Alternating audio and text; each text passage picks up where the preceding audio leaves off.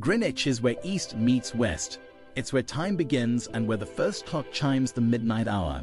Each day at 12.55 p.m., the Greenwich Time Ball atop the Royal Observatory rises halfway up its mast, signaling the time to ships along the Thames.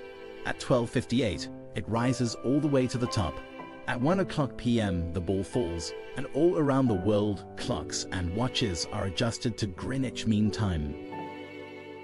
Here are a few reasons you should make time to visit Greenwich, England. Royal Observatory at Greenwich.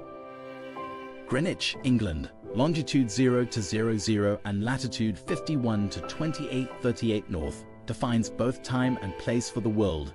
Greenwich was chosen to be the prime meridian of the world in 1884 when 41 delegates from 25 nations met in Washington, D.C. for the International Meridian Conference. On the south bank of the Thames River, Greenwich is a World Heritage Site recognized for its concentration and quality of buildings of historic and architectural interest. The town became a popular resort in the 17th century with opulent houses from the Georgian period constructed above the town centre. Greenwich is home to the Palace of Placentia, which dates to the 15th century. The birthplace of many in the House of Tudor, including Henry VIII and Elizabeth I, the palace fell into disrepair during the English Civil War in the 1600s and was rebuilt in 1873 as the Royal Naval Hospital for Sailors by Sir Christopher Wren. It became the Royal Naval College in 1873, and then in 1998, the Greenwich Foundation took control. At present, it is used by the University of Greenwich and the Trinity College of Music. Greenwich also is home to Cutty Sark, the only remaining original clipper ship from the 1800s and Gipsy 4, a 54-foot ketch that Sir Francis Chichester commissioned specifically to sail single-handed around the globe, racing against the times set by the clipper ships of the 19th century. Greenwich Park is home to the National Maritime Museum, which is actually comprised of three sites, the Maritime Galleries, the Royal Observatory, and the Queen's House.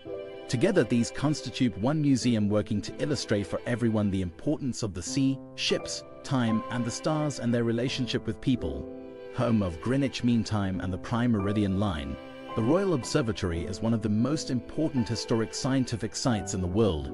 It is the official starting point for each new day, year and millennium at the stroke of midnight GMT as measured from the Prime Meridian. In 1675, Charles II founded the observatory to improve navigation at sea and appointed John Flamsteed as his first astronomer royal. Disasters at sea, including a 1707 sinking that killed more than 2,000 men, prompted Parliament to find the so much desired longitude of places, one's exact position east and west, while at sea and out of sight of land. In 1714, Parliament established the Board of Longitude and offered a £20,000 reward, equivalent to about £2 million today, to anyone who could solve the problem of finding longitude at sea Nearly 60 years later, John Harrison, a Yorkshire clockmaker, claimed the prize that stumped famous astronomers, scientists, and mathematicians. Harrison's H1 changed navigation forever. Queen's House Inigo Jones designed the Queen's House in 1616, commissioned by King James I's wife Anne to build a new pavilion for her at Greenwich. A student of Roman and Renaissance architecture, Jones designed the first fully classical building seen in England.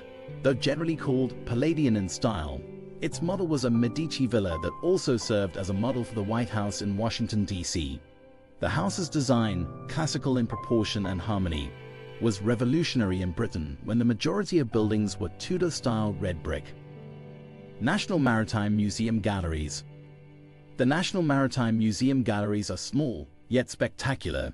The collections comprise about 2.48 million items, many on loan to museums elsewhere in Britain. The thematically arranged galleries contain the most important holdings in the world on the history of Britain at sea, including maritime art, cartography, manuscripts, official public records, ship models and plans, scientific and navigational instruments, and timekeeping and astronomy. It also features more than 700 items about Vice Admiral Horatio Nelson, Britain's greatest naval hero. His exploits were commemorated in paintings, prints, souvenirs, poetry and song, and his death at the Battle of Trafalgar made him the model of duty and devotion to his country. During Victorian era, Britons found it difficult to mesh Nelson's celebrated standing with his immoral private life. He deserted his wife for an affair with Lady Emma Hart Hamilton, who was married to Lord William Hamilton, British envoy to Naples. In 1800, Nelson's wife Fanny issued an ultimatum on whether it was to be her or Emma. Nelson replied, I love you sincerely, but I cannot forget my obligations to Lady Hamilton or speak of her otherwise than with affection and admiration. The two never lived together again. The contradictions between the hero and the scoundrel have prolonged fascination with Nelson's life and career for 200 years. And those are just a few of the myriad reasons to pop over to Greenwich if you have the chance its story, history, and importance to developing a standardized time by which we all set our clocks is fascinating and worth a closer look. Happy travels.